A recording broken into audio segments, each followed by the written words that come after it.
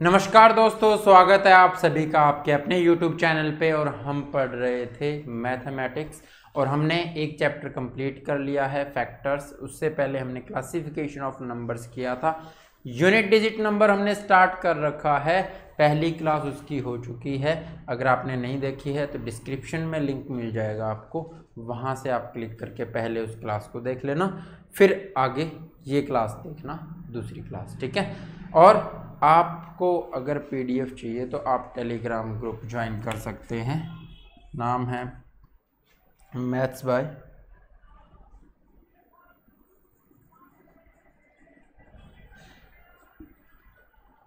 प्रदीप साहब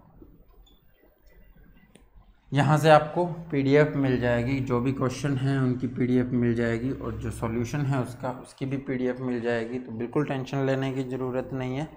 और सारी चीज़ें बिल्कुल क्लियर करेंगे अच्छे से। तो हम स्टार्ट करते हैं आज की वीडियो अगर आपको अच्छी लगे तो लाइक ज़रूर करना शेयर ज़रूर करना और कमेंट करके अगर कोई भी प्रॉब्लम हो तो बताना। और अगर अच्छी लगे तो भी कमेंट करना, ठीक है? स्टार्ट करते हैं। यूनिट डिजिट नंबर एक क्लास हो चुकी है। ये है दूसरी क्लास तो हमने पढ़ा था फैक्टर्स के बारे में मल्टीप्लिकेशन के बारे में एडिशन के बारे में और आज हम पढ़ेंगे x to the power n के बारे में। तो x to the power n के बारे में जब हम पढ़ते हैं तो इसका मतलब क्या है कि हमें कोई भी नंबर दिया हुआ होगा, इस तरह से नंबर दे रखा है, उसकी पावर दे रखी है कुछ भी तो आपको बताना है कि जी यूनिट इसको सॉल्व करने के बाद, यानी पावर दे रखी है सेवेंटी वन यानी इसको इकहत्तर बार मल्टीप्लाई करने के बाद में यूनिट डिजिट क्या आएगा? तो इस तरह के क्वेश्चन आज हम देखेंगे, ठीक है? चलो। कोई भी नंबर हम लिखते हैं, ये लिखा हमने, ये लिखा। यूनिट प्लेस पे कौन कौन से नंबर आ सकते हैं? तो आपको पता है one two zero one two three four five six seven eight और नाइन टेन लिखोगे तो फिर यूनिट प्लेस पे तो ज़ीरो ही आएगा ना. ये सब नंबर आ सकते हैं और अगर इनके बारे में हम पढ़ लें, किसी पैटर्न क्या बनता है तो हमें आंसर करने में आसानी हो जाएगी, ठीक है? तो हम सबसे पहले पेयर उठाते हैं यहाँ से ज़ीरो वन फाइव और सिक्स ज़ीरो वन फाइव और सिक्स इस केस में क्या होता है, देखो।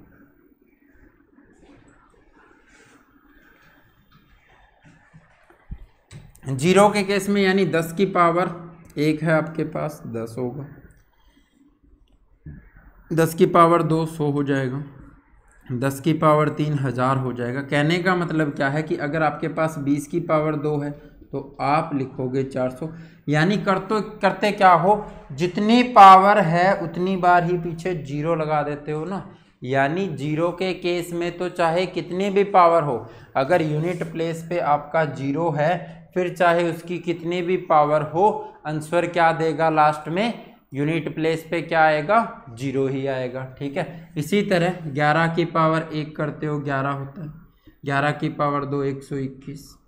ग्यारह की पावर तीन, तेरह सौ इकतीस। कहने का मतलब क्या है? ग्यारह की पावर सात होगी तो ग्यारह को सात बार गुना करोगे ना, यही करना होता है। ग्यारह को कितनी बार गुना करना है? सात बार गुना करना है। यानी आप यूनिट प्लेस वाले डिजिट को उठाओगे और मल्टीप्लाई करके आंसर दोगे। तो यूनिट प्लेस वाले डिजिट अगर आप उठाओगे तो एक को ही बार बार मल्टीप्लाई करना है और एक को ही बार बार मल्टीप्लाई करना है। इसका मतलब क्या है कि एक की मल्टीप्लाई जब एक के साथ होती है तो आंसर भी क्या आता है? एक ही आता है। यूनिट प्लेस पर क्या आएगा? एक ही आएगा। ठीक है? पाँच के केस में देखते हैं। पाँच की पावर एक करते हो, पाँच आता है। पाँच की पावर दो, पच्चीस आता है। पाँच की पावर तीन, एक सौ पच्चीस आता है। पाँच की पावर चार, छः सौ पच्चीस आता है। पाँच की पावर पाँच, इकतीस सौ पच्चीस आएगा। पाँच की पावर छः, पंद्रह हज़ार छः सौ पच्चीस आएगा। पाँच की पावर सात करोगे, अठहत्तर हज़ार एक सौ पच्चीस हो जाएगा। यानी आपने क्या देखा? चाहे पावर पाँच की कितनी हो यानी चाहे पाँच आपस में कितनी भी बार मल्टीप्लाई हो रहा हो यूनिट डिजिट क्या देगा? फाइव ही देगा। हमने ये भी पढ़ा था कि पा, अगर पाँच को और नंबर से गुना करते हैं तो पाँच भी तो एक ऑड ही नंबर है ना? तो आप कहोगे कि जी हमें ये दिया है पैंतीस की पावर दस यानी पैंतीस को कितनी बार गुना करना है? पैंतीस को दस बार गुना करना है। ठीक है? पैंतीस को दस बार गुना करना है, यानी आपको तो यूनिट डिजिट से मतलब है यूनिट डिजिट आपने उठाया, पाँच को दस बार गुना करना है और पाँच जब तक ऑड नंबर से गुना होता रहेगा आंसर क्या देगा? आंसर तो पाँच ही देगा। तो आपने देखा कि चाहे पावर कितनी भी हो यूनिट प्लेस पर अगर फाइव आ रहा है तो आंसर यूनिट प्लेस पर क्या आएगा? पाँच ही आएगा, ठीक है? अब बात करते हैं छः की।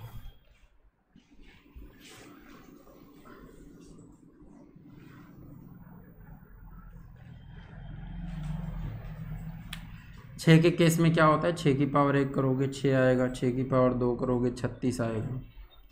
छः की पावर तीन करोगे, दो सौ सोलह आ जाएगा। छः की पावर चार करोगे, बारह सौ छियानवे आ जाएगा। ठीक है? छः की पावर पाँच करोगे, इसको फिर से छः से मल्टीप्लाई करना है। चिकू चिकू छत्तीस ही आएगा ना, फिर से छः आएगा। यानी चाहे पावर कितनी भी हो छः की, वहाँ भी क्या आ रहा है? यूनिट डिजिट यूनिट डिजिट आ रहा है आपका सिक्स यानी ज़ीरो वन फाइव और सिक्स के केस में, एक ज़ीरो, एक पाँच और छः के केस में क्या होगा? यूनिट डिजिट आपका क्या रहेगा? यूनिट डिजिट सेम रहेगा। यूनिट डिजिट क्या रहेगा? सेम रहेगा। जो आपका यूनिट प्लेस पे होगा, वही आपका आंसर होगा, चाहे पावर कितनी भी हो, ये चीज़ हम देख चुके हैं यहाँ पर। अगर आपसे क्वेश्चन पूछा जाए।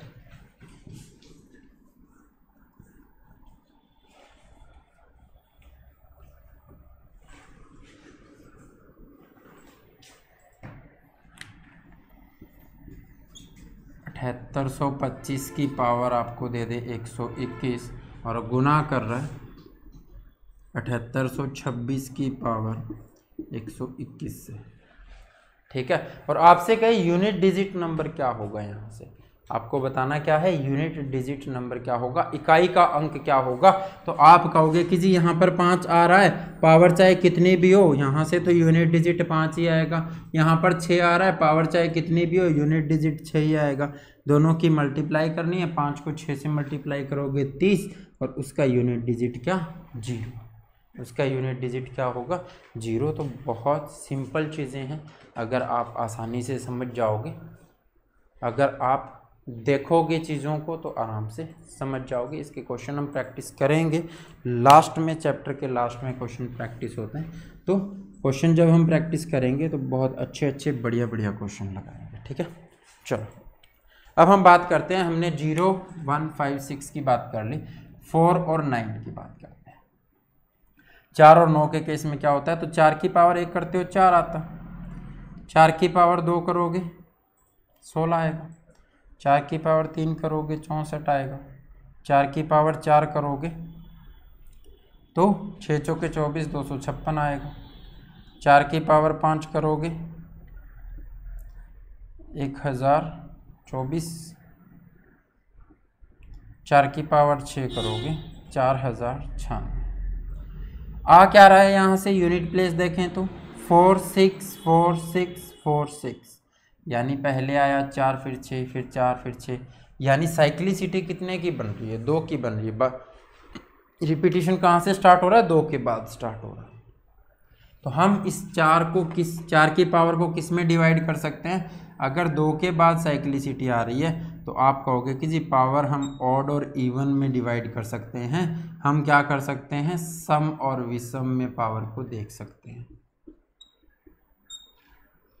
देखो, यहाँ से चार की पावर जब ओड है तो क्या आ रहा है? चार आ रहा है। और जब चार की पावर इवन है तो यूनिट प्लेस पे क्या आ रहा है? छः आ रहा है। तो चार की पावर जब भी विषम होगी तो चार आएगा और चार की पावर जब भी सम होगी तो छः आएगा। ये यहाँ से हमें साफ़ दिखाई दे रहा है कि हमेशा ऐसा ही होगा, अगर याद ना रहे तो आपको पता है इवन ओड देखना है और जब भी आपको, आपने देखा चार की पावर क्या है? 121 लिखा हमने तो आप कहोगे ओड है जी तो चार की पावर ओड ले करके देख लो, चार की पावर एक चार होता है। आपने देखा चार की पावर दो सौ छप्पन दे रखी है। आपने देखा पावर इवन है। इवन पावर में क्या होता है? तो चार की पावर दो, चार सौ के सोलह का छः होता है। ठीक है? तो आप याद रख सकते हो। अब नौ के केस की बात करते हैं। नौ में क्या होता है?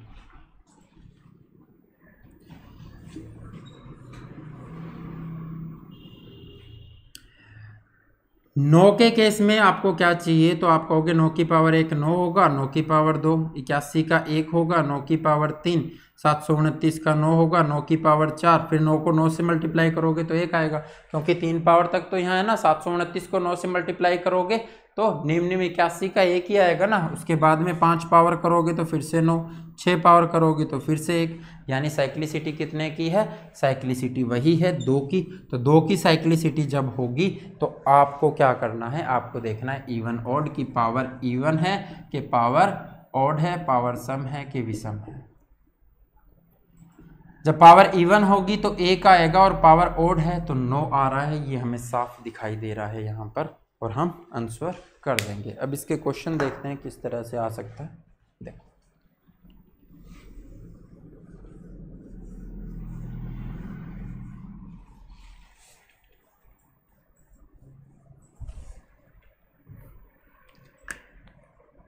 चार की पावर एक, नौ की पावर दो, चार की पावर तीन, नौ की पावर चार चार की पावर पाँच, और इसी तरह आपको दे रखा है, चार की पावर नाइन्टी नाइन, नौ की पावर हंड्रेड। ठीक है? आपसे पूछा है यूनिट डिजिट नंबर क्या होगा? इस इक्वेशन को, इस एक्सप्रेशन को अगर हम सोल्व करते हैं तो। तो आपको पता है कि जी, चार की पावर यहाँ पर जितनी भी दे रखी है, वो क्या है? ओड है। यहाँ से यहाँ तक कितने नंबर है? यहाँ से यहाँ तक सौ नंबर हैं। कितने हैं? सौ हैं। एक बार चार आ रहा है, एक बार नौ आ रहा है। यानी पचास बार चार आया होगा और पचास बार ही क्या आया होगा? नौ आया होगा। तो पचास बार चार आया है और सबकी पावर ओड है तो चार की पावर जब ओड होती है तो क्या होता है? यूनिट डिजिट नंबर क्या आएगा? चार ही आएगा। यानी यहाँ से कितनी बार? चार गुना चार गुना चार, यानी जो भी नंबर यहाँ से बनते जाएँगे, उनके यूनिट प्लेस पे डिजिट क्या होगा? चार होगा। तो हमें तो यूनिट प्लेस वाला ही चाहिए ना, यानी चार को कितनी बार मल्टीप्लाई करना पड़ेगा? पचास बार। ठीक है? और अगर नो वाले की बात करें तो पावर है इवन नो का स्केयर नो की पावर चार तो यूनिट डिजिट क्या होता है? एक होता है। तो इसको भी कितनी बार गुना किया होगा? अगर यहाँ से मैं अलग अलग लिखूँ तो आप कहोगे जी पहले चार आएगा, फिर यूनिट डिजिट एक आएगा, फिर चार आएगा, फिर एक आएगा, फिर चार आएगा, फिर एक आएगा, फिर चार, फिर एक। इसी तरह चलता रहेगा। यानी पचास बार चार आया, और एक कितनी बार आया भाई? एक भी आया, पचास बार। तो पचास बार एक को गुना करने पर तो कोई फ़र्क नहीं पड़ता, आप लिख भी सकते हो। चार को पचास बार गुना करोगे, इसका मतलब क्या है कि चार की पावर पचास हो गई। और एक को पचास बार गुना कर रहे हो, एक की पावर पचास, कोई फ़र्क नहीं पड़ने वाला। अब चार की पावर क्या है? चार की पावर इवन हो गई। गलती क्या करेंगे बच्चे? इसका आंसर चार कर देंगे कि चार और एक की गुना हो रही है, लेकिन चार नहीं आ रहा है। क्यों? क्योंकि चार की पावर क्या हो गई?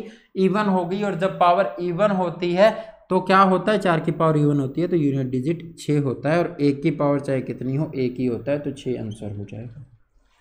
ठीक है? छः क्या हो जाएगा? आंसर हो जाएगा। इसी तरह का एक क्वेश्चन और देख लेते हैं।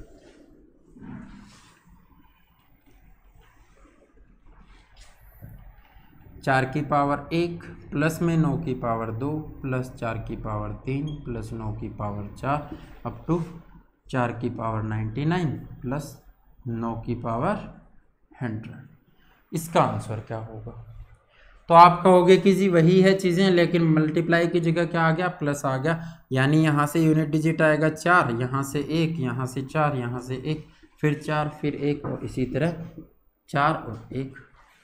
यानी यहाँ पर चार कितनी बार आया होगा? तो चार आया होगा पचास बार और जुड़ रहा है, इसका मतलब क्या है कि जी चार पचास बार जुड़ रहा है। और एक कितनी बार? तो एक भी पचास बार। तो ये कितना हो गया? ये हो गया जी दो सौ। और ये कितना हो गया? पचास। तो टोटल कितना हुआ? दो सौ पचास। यूनिट डिजिट क्या है? ज़ीरो है। ठीक है?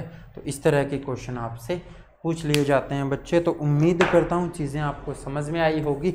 अब जो हमारा रहता है, वो इसमें रहता है टू थ्री सेवन और एट ये करने के बाद में हम क्वेश्चन प्रैक्टिस करेंगे। तो आपको क्लास में रेगुलर रहना है, जो भी वीडियो आती है, आप देखते जाना। पहली वीडियो अगर आपने नहीं देखी है तो लिंक डिस्क्रिप्शन में मिल जाएगा। टेलीग्राम ग्रुप का लिंक भी डिस्क्रिप्शन में मिल जाएगा। वहाँ से आपको नोट्स और एक्स्ट्रा क्वेश्चंस भी मिल जाएँगे। तो बिल्कुल टेंशन लेने की ज़रूरत नहीं, अच्छे से तैयारी करेंगे। अगर आपको कोई भी प्रॉब्लम हो तो आप कमेंट करके बता देना, वीडियो अच्छी लगी तो लाइक, शेयर और सब्सक्राइब ज़रूर करना। आज की वीडियो में इतना ही, थैंक यू, जय हिंद, जय भारत।